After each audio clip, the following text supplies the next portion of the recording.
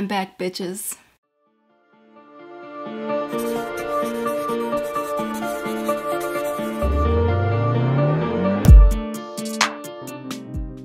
Well, I can't really say that I'm back, back, but I'm here. I'm existing, right? I was gone for a bit because I had a loss in the family and I'm still dealing with that, mourning his death and everything. So, for those who haven't caught up yet, I was living in Arizona, Prescott.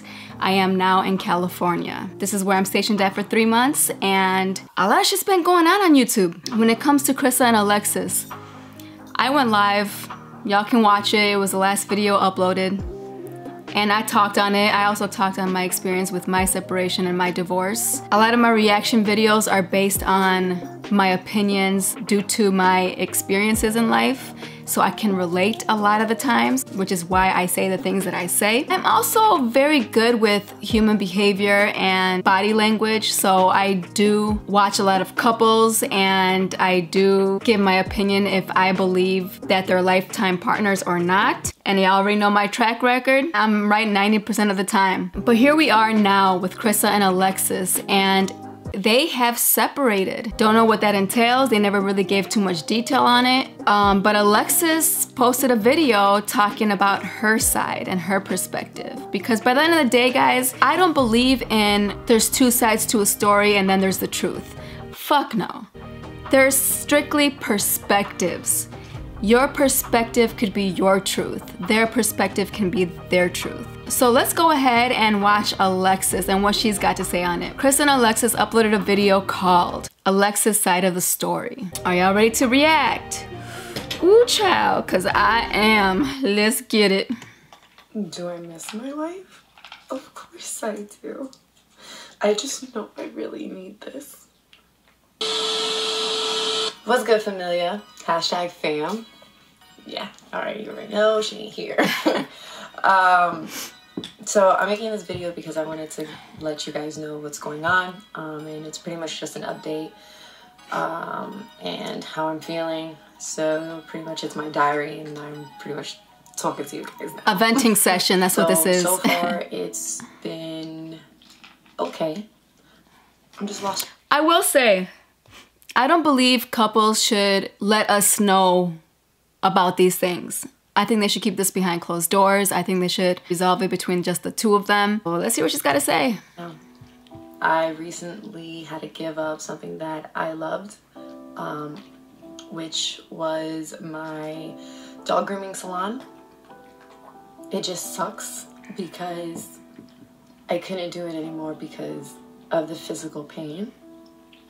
So I'm just really lost right now um, because that's all I had. I'm taking this break also because of my mental health. So I really want to work on myself. I've been going to therapy. Good. I've been good. Um, trying to figure out what it is that I love again. And I have borderline personality disorder.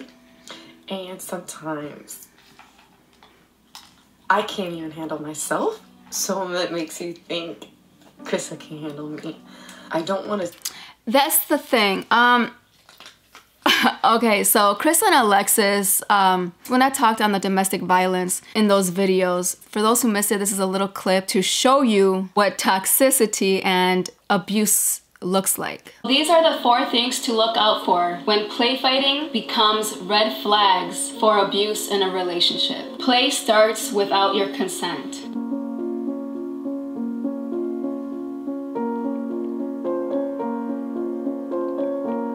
Play continues in spite of your requests to stop.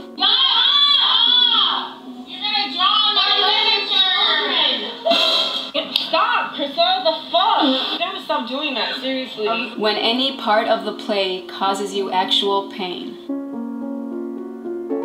Where I bit her arm, really excruciating hard.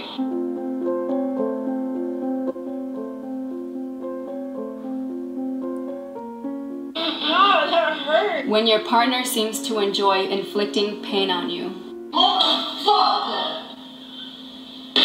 Stop, Crissa, the fuck? No, it hurt. And I feel like it's so funny to annoy Alexis because her reactions yeah, she loves to do that. are priceless. I make it my lifelong duty to make Alexis annoyed. I think it's the most funny. That makes my days go by. Yeah, I know. But you're, stop, you're not putting this in. Just letting you know that. Okay.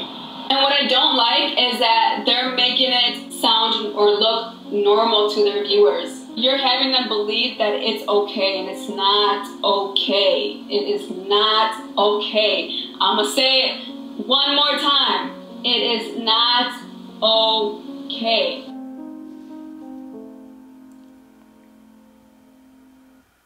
And that is also from talking to a psychology expert. You guys can look back on those videos, click right there.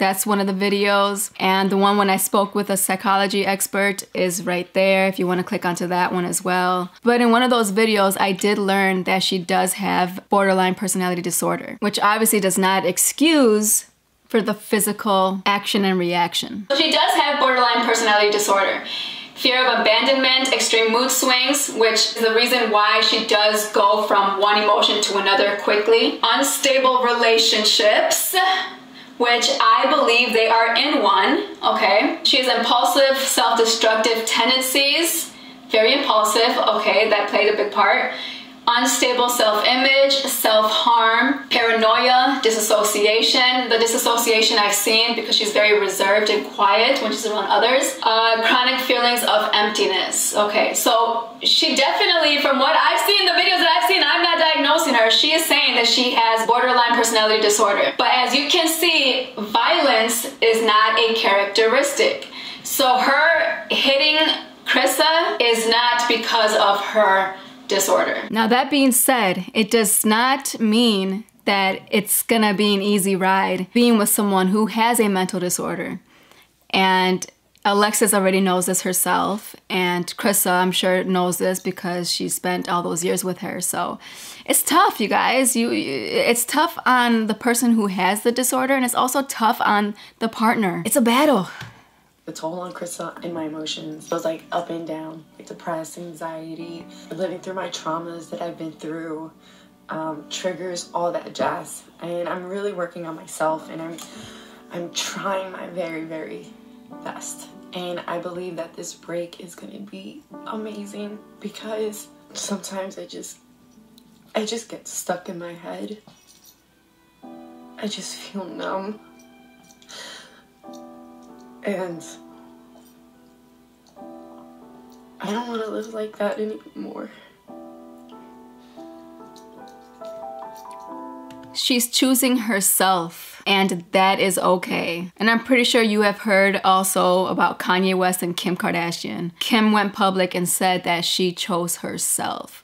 And you know, obviously, we all know that Kanye West has bipolar disorder. So it's tough, you guys. It shit ain't easy. Doesn't mean the love wasn't there, but dealing with that stuff can also cause toxic relationships.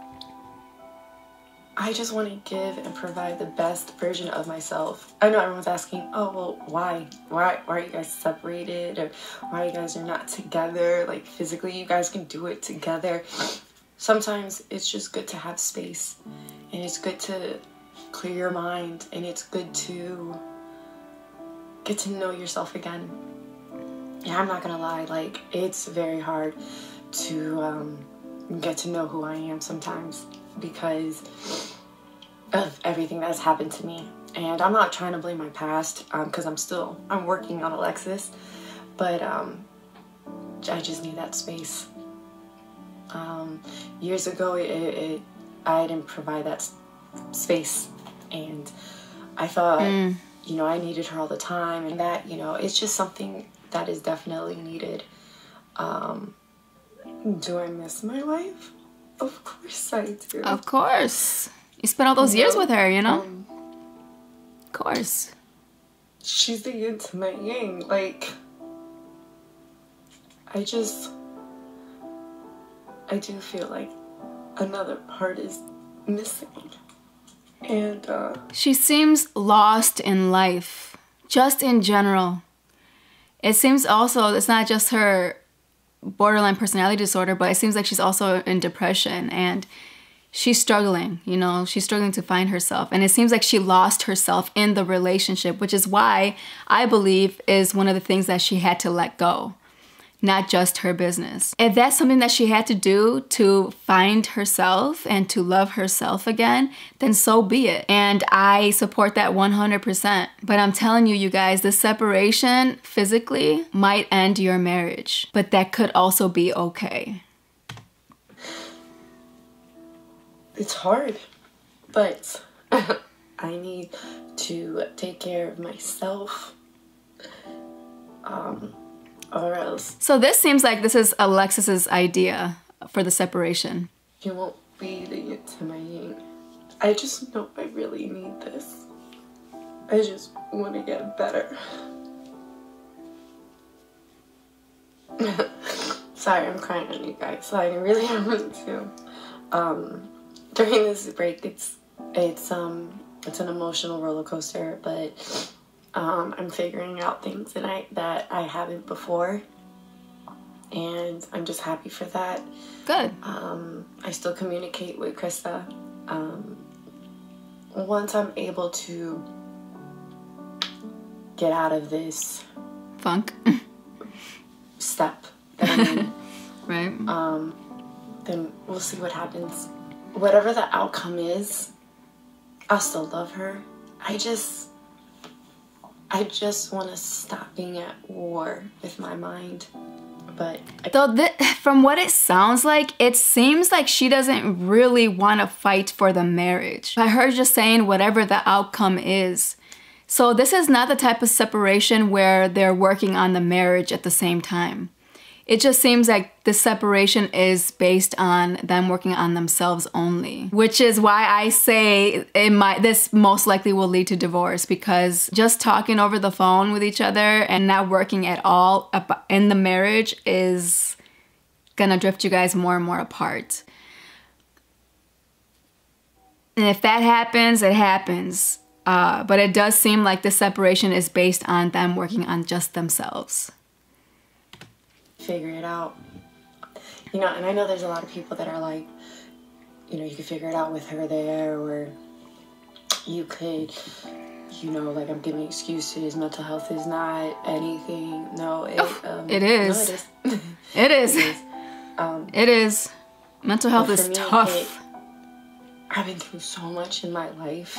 I have so many stories to tell that I was, or uh, that I am unable to tell because I don't have the courage to tell yet. I just need to work on my. She's brought up um, a few a few of those things. YouTube can demonetize me for using these words. I don't care. But uh, she did say that she was molested. She was been raped. Um, she's been in abusive relationships. So she's been through a lot of shit, y'all. And she's battling a mental disorder. So it ain't easy. she's fighting herself a lot. So if this is the break she needs, then this might be a good idea for her. because I never knew who myself was ever because of the life that I lived. So I'm trying to take myself back and get to know me. Self love, And girl. I back that I up. that's an amazing thing that I'm doing. I back that we up. make these videos because we want to put out in the world realness and not just bullcrap. Like we love each other, but it's not lovey dovey all the time. You know what I'm saying? Like, come on. I love you guys. Um, thank you guys so much for the support. Thank you so much for understanding. Deuces familia. I love you guys. Okay, well, that was a very short video, but I made it longer with my clips. Hope y'all enjoyed this video. She was just basically telling her feelings on it. Um, hopefully we get to hear Crissa's side, which I feel like we're going to, and I'll react to hers as well. Good luck to them and to them individually. I mean no harm with my videos. I hope you guys understand that and I hope you know my intentions and my heart. Until then, I don't know if y'all see me, but find me on TikTok because I'm having lots of fun there. Find me at blissful underscore experiment. I have fun there, guys. Go watch me, please. All right, you guys, see you till whenever. Peace.